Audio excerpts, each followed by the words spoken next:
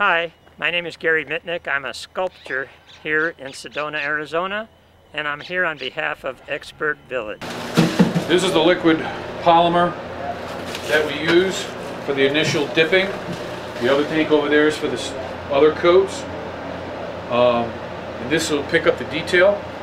And we start off with a very, very fine, very fine sand. This is called zircon sand. It's very dense, very fine, almost almost to a flour consistency.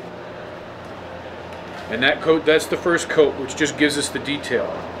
And then as we dip each time, we go into different sands which increase in size. And that's how we do it, back and forth. We dip it into the buttermilk, as it were, and then into the flour. Doing a little tour.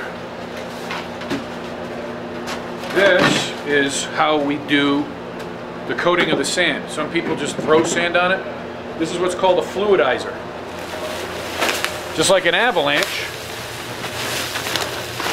you can't push your hand into it until you add air. Then it fluffs very nice and easy. Coating the piece evenly and without a lot of stress on the piece. It's very fluid, it's light and fluffy. And then when we pull it out, it's all sandy, and we let it dry. And we do this five to seven times, depending on the size or the complexity of the piece.